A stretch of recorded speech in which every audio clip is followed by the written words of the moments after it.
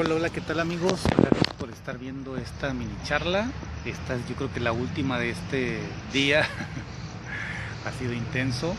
Eh, es sobre un comentario, bueno, sí, un comentario, una pregunta que muchas veces me han manifestado y es acerca de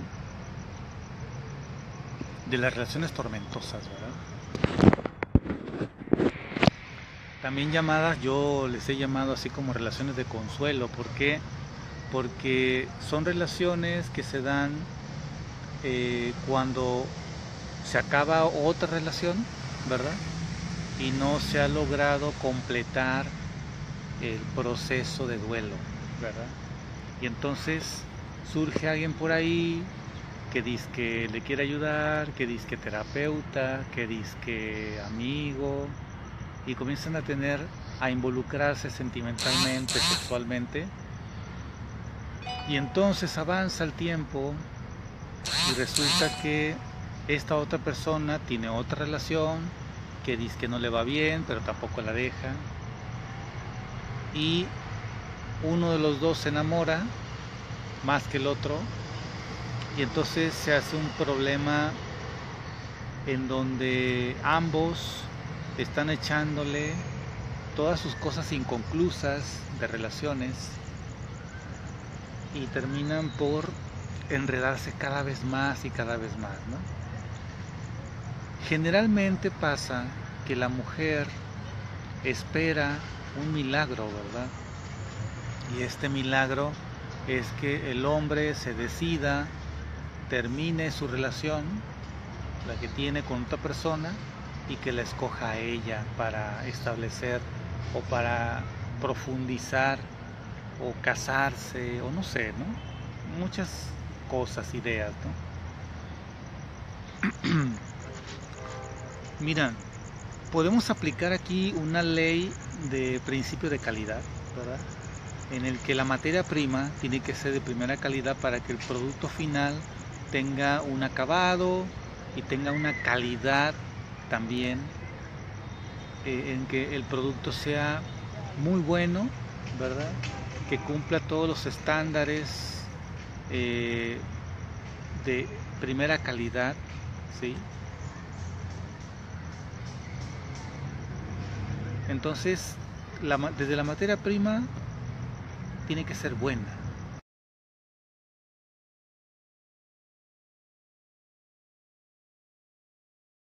O sea, cuando, y cuando no es de primera calidad, entonces se producen todos estos conflictos en las parejas, ¿no? ¿Por qué? Porque desde el principio no eran libres, no estaban bien, tenían procesos inconclusos, tenían mucho coraje con otras personas, con su anterior pareja, con la pareja actual que no, eh, decidieron dejar ¿verdad?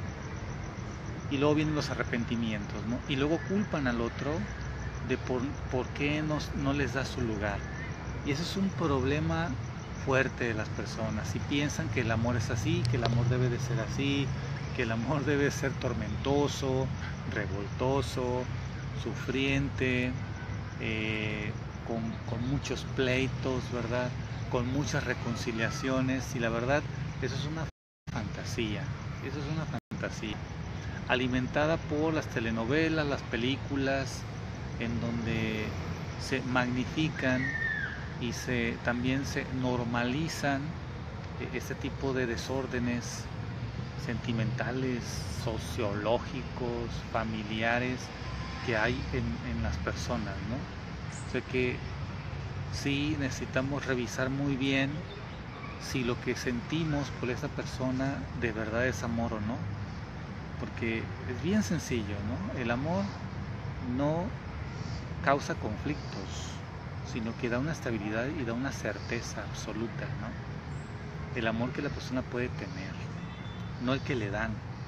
Entonces, si una persona, él se respeta y se quiere y es una persona estable, entonces generalmente va a llegar a esa persona alguien así, ¿no? Si es revoltoso, si es eh, poco claro consigo misma la persona, va a traer a alguien que esté igual. Eso está comprobado, sí, comprobado, así por estadísticas, por encuestas, por investigaciones psicológicas. Es que esa pareja que tú tienes es exactamente igual que tú, aunque lo niegues. No puedes escoger a alguien que no sea parecido a ti, sería imposible, no te pudieras enamorar, ¿verdad? Entonces, eh, si dentro de ti hay más cosas loables, puras, eh, buenas, entonces las personas que te rodean o la pareja que vas a atraer va a ser así como tú. Eso es, es lógico, ¿cómo no, verdad?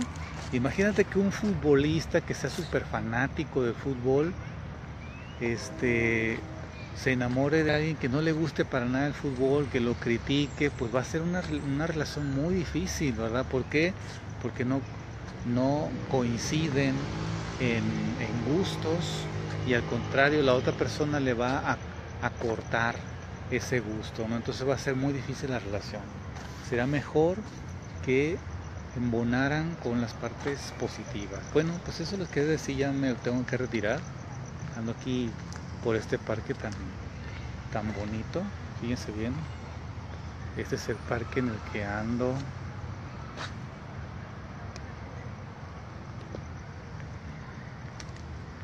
Mira, ahí está. Está maravilloso. Es la Alameda de Saltillo. La Alameda de Saltillo. Muy bonito. Magnífico. Le di unas vueltas aquí, una caminata, para estimular el oxígeno, la energía vital en la sangre, porque ahorita voy a hacer una meditación y hay que estar lo mejor vitalizado posible, porque sí requiere de mucha energía la meditación. Así que se los recomiendo ampliamente también a ustedes que, que frecuenten las prácticas de meditación, porque eso da mucha vitalidad, da mucha estabilidad emocional.